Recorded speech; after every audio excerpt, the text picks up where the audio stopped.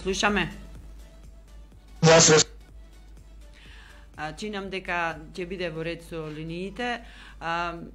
Добар ден, ви посакувам и убав ден. Верувам дека вие функционирате како и поголемиот дел од туристичките агенции иако во ова време сега, во овој втор бран, а, малку се неизвестни начините на функционирање на туристичките агенции, особено околу тоа дали да се прават понуди за новогодишната ноќ или не, дали да се прават понуди за зимски патувања, за престој на а, туристичките локалитети тука кај нас во Македонија, па и во странство.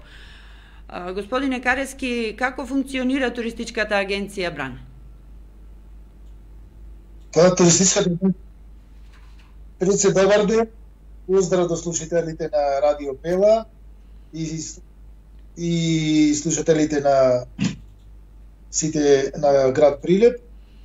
А, како функционира сега туристичката агенција Бран, искрено ви кажам, најтешко од, од нашето а, од нашиот почеток, од 90-та година, значи еве точно 30 години од нашето работење, до сега ова е најлоша година, бидејќи имало нели и други кризни ситуации, нели војната во Македонија или распада на Југославија, па не се прескина патувањето, сега е ова начин моментално најлоша година од нашето постоење.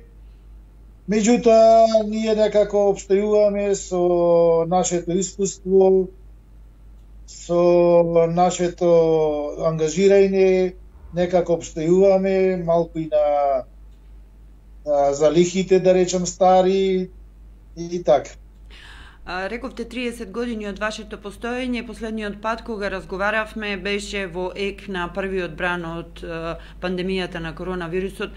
Тогаш стануваше збор за тоа дека се прекинати патувањата во странство, но од тогаш до сега зборувам за неколку месеци, многу работи се променија некако туристичките работници се привикнаа да се ориентираат на домашната понуда, бидејќи и тогаш беше јасно дека на таков начин ќе може да се функционира. Дали може една споредба да се направи барем во овој период од оваа година? Значи имавме прв, прв бран кога на некој начин имаше големо неверување дека сето тоа ќе продолжи понатаму, дека брзо ќе спласне целата таа е, пандемија, но еве за жал сето тоа се предлабочи. Во меѓувреме државата помагаше со ваучерите за туризам. Можете ли вака еден пресек да направите дали помогнаа тие туристички ваучери и колку граѓаните ги искористија овие туристички ваучери? Вака, да. А, знаеме, значи, после 15 март а, се се затвори, настана еден период кога воопшто ништо не се не работевме, па потоа државата даде нели помош од плати а, во многу фирми нели што работат со нели со помалку од 30 или 50%.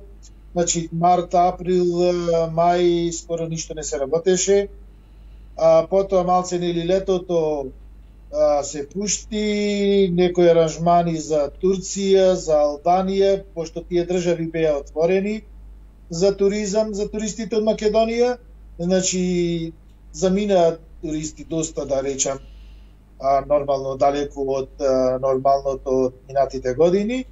Значи, меѓутоа, како за таква кризна состојба што беа затворени многу држави како Грција воопшто, значи не се отвори цело лето, Црнагора воопшто не се отвори, значи само Албанија и Турција, еден дел од граѓаните значи заминаа странство, а е, нормално, значи сето другото беше во хотелите во Македонија. И тука не сам е, освен е, редовните да речам туристи што патуваат и во странство и во Македонија, со оние ваучери што ги даде државата, помошта на граѓаните со нели со помали средства на приходи, а, со нив се а, имаше некоја разближеност а, во Македонија во туризмот, а, посебно мислам добро ипак добро помина хотелите во на езерава наши на Елина, на Охрид и Преспа посебно Охридскиот регион, значи Иструшкиот регион, значи добро помина хотелите со тие ваучери и се уште и се уште голем дел од хотелите во Македонија со тие ваучери а, за туризам што ги даде државата, оние по 6000 денари, а, викендите работат многу хотели во Македонија, посебно оние хотели кои што имаат добри услови, кои што имаат внатрешни базени и нормално кои што има прилагодени хотелите да работат и со помал број на туристи. Најлошо помина хотелите кои што се најжаат во градските средини, значи пошто тука не доаѓаат нели бизнисмени од странство, и значи градските хотели не, и во Скопје и во другиве градови и во Прилеп, значи тие помина мислам дека најлошо. А, сега помошта што даде последна последниот пакет мерки офатини се додуша и тие хотели сите со тоа од минатата година да му се вратена или некои таксите за од туристите значи или платите. Сега е октомври, ноември, декември, за тоа е помош за сите нели кои што од областа на туризмот, тука се значи туристичките агенции, превозниците, хотелерите, водичите. Значи ова помош октомври, ноември, декември добро ќе ми ќе ни дојди на сите со платите за да се преживе, за да не се затворат агенциите. Бидејќи во туристичките агенции посебно, па и во хотелите или во и кај превозниците работат специфични група на луѓе, на пример во туристичките агенции, тоа се ипак а, а, со со посебни квалитети од областа на туризмот, од јазици, од познавање на историја на и така на така.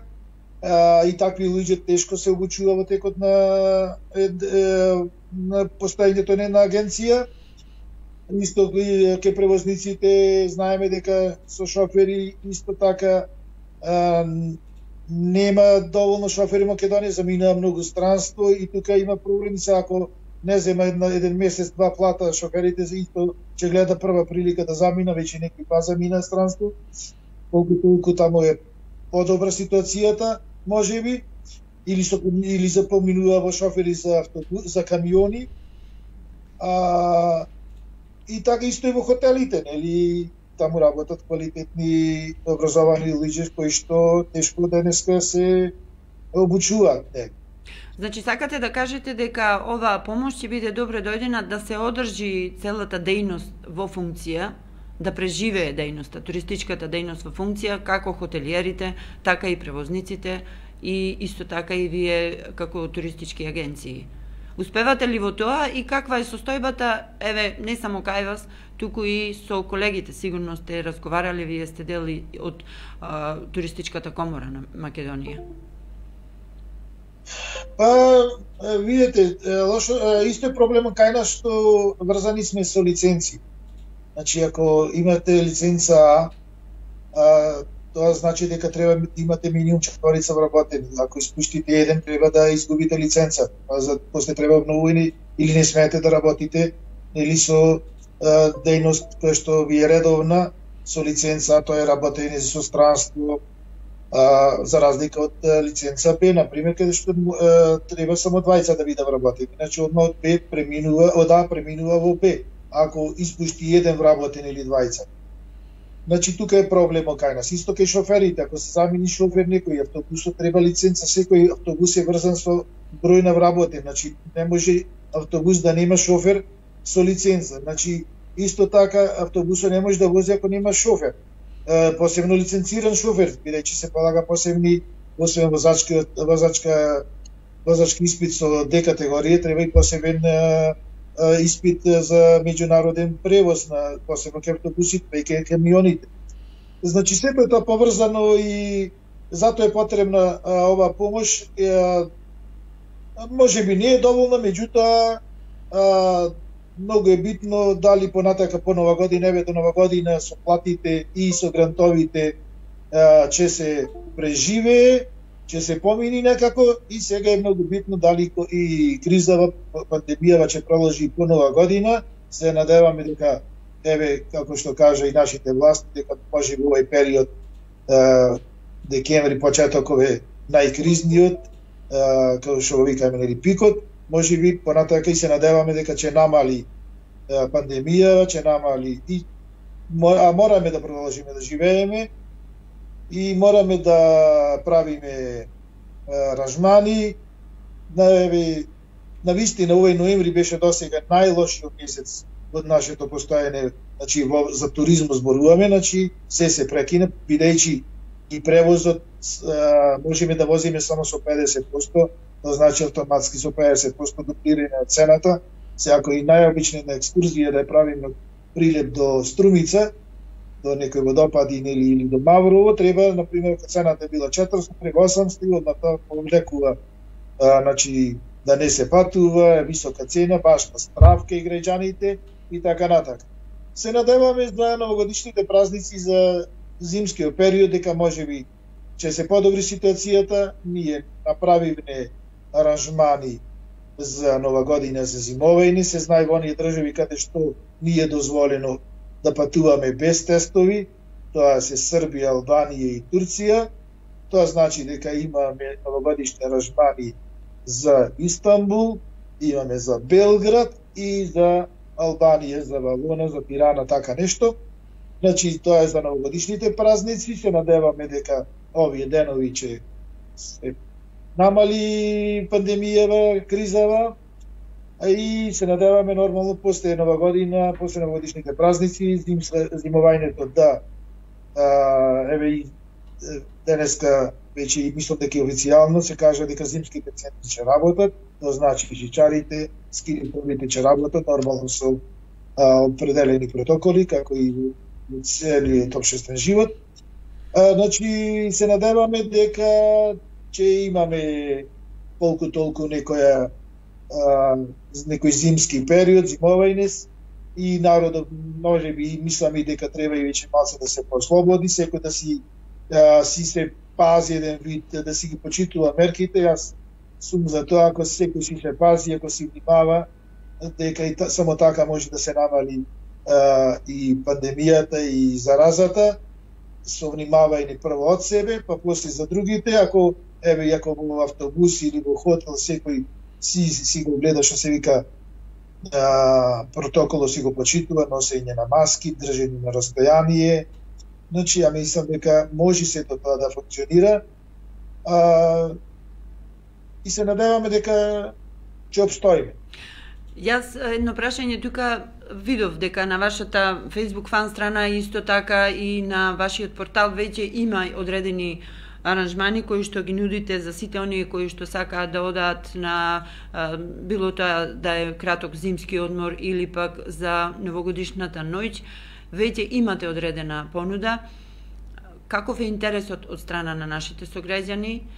Дали се тоа интерес насочен кон домашните зимски туристички центри, бидејќи кажавте дека веќе тие ќе работат и официјално нема забрана за работење на зимските туристички центри. На каде е насочен интересот од граѓаните? Прашуваат ли, се интересираат ли?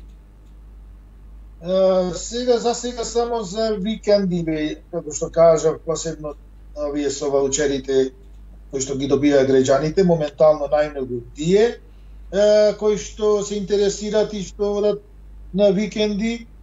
А, мале сега, за сега на вистина мале, најмал во постојање во 30 години, најмал интерес за нова година за зимовење, се надеваме дека а, ќе се во слободи наредни, наредниот период навистина е слаб, на слабо, меѓутоа се надеваме дека мора да продолжиме со животот, мора а, да се придржуваме кон мерките, може би веќе потра до напролет, до лето, може би, не знаеме нели никој, меѓутоа животот мора да продолжи. Сигурно. А, вие исто така и како туристичка агенција, но исто така работите и со превоз на патници. Кажете ни тука како е состојбата, бидејќи од 75 од 100 искористенот на капацитетите на превозните средства, сега мора вие да запазувате ограничување на 50 од 100. Како тоа се одразува на вашата работа? Како работите? И дали имате некои други предлози до до владата за на некаков начин еве тие мерки да се запазуваат, да нема ширење на инфекцијата на коронавирусот, но и вие да можете да обстанете. Па може би има некои пропусти во мерките, претежно во баш во тие мерки кои што се несуваат на а, превозот, превозниците може би малку се запоставени во помошта и во овој пакет на мерки, тие не добија грантови, а знаеме дека многу воопшто превозниците, освен небе, освен возењето на вработените до а, фабриките и овие некои редовни линии, градския сообраќај, другиот превоз е замрен, значи нема воопшто тури, туристички патувања, со тоа што се намали превозот од 75 на 50%, значи дефинитивно скрос го запре превозот и организирањето на екскурзии, како што испомнав пред малку. А, мислам дека со 75% нема ништо да се направи ако се воведи, ако се врати пак, бидејќи во кој случај не се не се докаже и не произлезе никаков случај ни еден дека во превозот во туристичкиот, да речеме, туристичкото патување, дека некој се заразил во автобусот, бидејќи во автобусот со 75%, а, секој, ако седи, а, ако е некој сам, си седи сам на две седишта, ако си се пар, може да седат двајца на две седишта заедно, и си бидејќи секој си носи маски, мислам дека со 75% ќе заживе малку превозо и туризмо, Значи, мислам дека и тоа ни е барање нас од комората до владата да го врати 75% на превоз, бидејќи значи, во автобусот секој си седи на седиште, секој си гледа напред, секој си носи маска, значи нема а, можност, значи автобусите дезинфицирани раце, значи, значи нема можност подо повеќе ипак во моје мислење поголема заразата или пренесувањето на вирусот е во кафичите, каде што нели седиш четворица на маси, ако си само четворица, ако си различни луѓе четворица, значи може еден да биде заразен или да му пренеси бидејќи седиш еден накрши друг а, на една масличка, а, која што е ипак не гледаш еден во друг, не гледаш секој пред себе. Значи кај автобусот секој гледа напад. Значи, Јас сакав тука да прачам во однос на, на превозот, бидејќи вие и вршите превоз на, на патници, работници кои што работат во индустријските капацитети, кои мерки и правила морате вие да ги е, применувате и што е она што мора да се припазува, бидејќи имаше од страна на граѓаните одредени забелешки дека еве коронавирусот се шири онаму најмногу каде што се патува, каде што има најголем број на на патници. Кажете ни како изгледа еден работен ден на превозник кој што превез, превезува работници до индустријските капацитети кај нас тука во Прилеп во Пелагонија. Јас можам да кажам само за нашите автобуси кои што ги возат вработените во Гентер. А, Гентер на вистина уште од самиот старт од 15 март воведе строги мерки, уште во старт почна да се вози со 50% без разлика и кога беше дозволено со 75% и во ниеден случај не направи е да се вози со 75%, значи цело време а, наместо 5 автобуси ода 10 автобуси, а, тука си нормално си се попушти од една и од друга страна заради цените. Меѓутоа, значи, уште од старт и до сега, Гентерм и ние, како превозници, а, со вработените на вистина се внимава, се почитуваат протоколите, за тоа можам одговорно да, да, да, да кажам, бидејќи значи, во денот по два пати ние ги дезинфицираме, пред смена автобусите, си имат средства за дезинфекција, нормално маски, нормално значи внатре со 50% еден работник седи на две седишта, значи има тоа растојание и до сега ја мислам дека од а, работење на фабрики, посебно од превозот, значи немаме информација дека некој на таков начин се заразил во автобус. Значи тука и навистина е да е пофалам фабриката Гемпен, пошто и со вработените е, строго постапува во таа смисла да се носи обавезно маски, да се почитува мерките за протокол исто и ние. Значи, тоа можам да го кажам за нашите, верувам дека и другите фабрики, превозници со другите фабрики го почитуваат, речи или се и казните се големи за ако се најди или да се воза повеќе патници во автобусот, нели тоа се случи на, на неколку пати нели во Штип имаше нели да. телевизија, е што не се почитуваше, меѓутоа се надевам дека тоа беше една полука да за и за превозниците и за фирмите дека треба да се почитува. Се прават ли се прават ли контроли? И колку често се прават, се прават тие? Се прават контроли, да речем и од тебе и од трудова инспекција, имам и деновиве и во Гентерен и Кајнас и во другиве колку што разбравме, ми и од трудова да имаме информација дека навистина и Кајнос и во Гентем се биле е трудава инспекција задоволна во почитувањето на мерките. Се надевам дека и сите други ги научивме веќе лекцијата, и бидејќи можеби како што кажаме дека понатака ќе живееме со овој вирус. Јасно.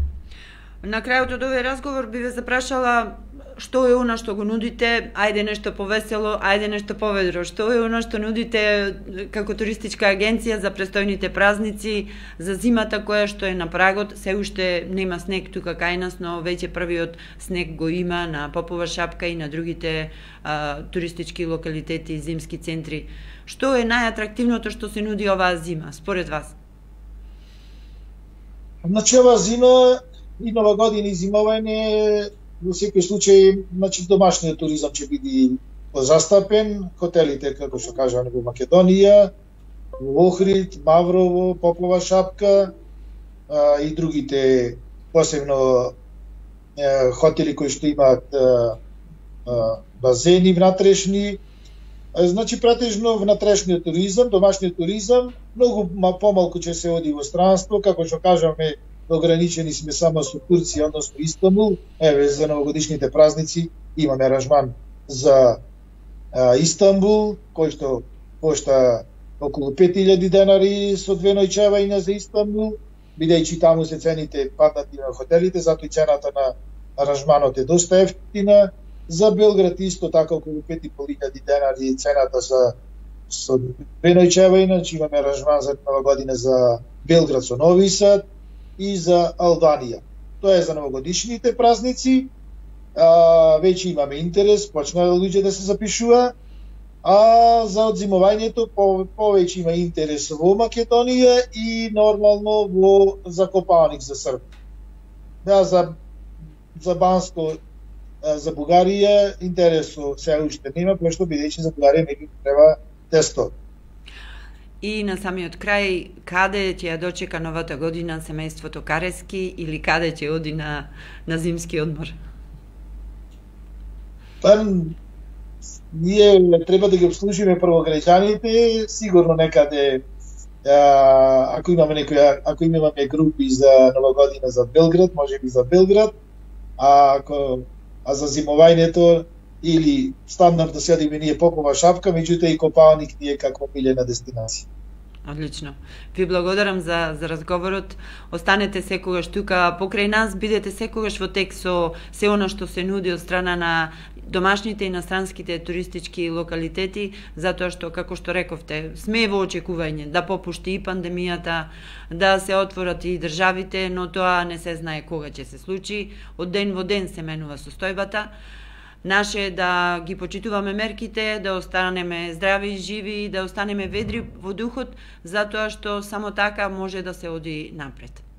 Јас само за да ги охрабрам граѓаните да се опуштат, да да продолжат да патуваат, да одат за нова година, да одат на зимовајне, а посебно оние кои што имаат неискористени ваучери да се ги искористат, оти 50% и повеќе од 50% се уште не се искористени, зошто да му пропаднат кога може да си поживат во некој хотел, значи и тоа еве не се докажа дека некој по хотеливе доби вирусот, значи нека си ги искористат, еве ги повикувам имателите на ваучери, нека ги искористат за викендите во хотелите во Македонија.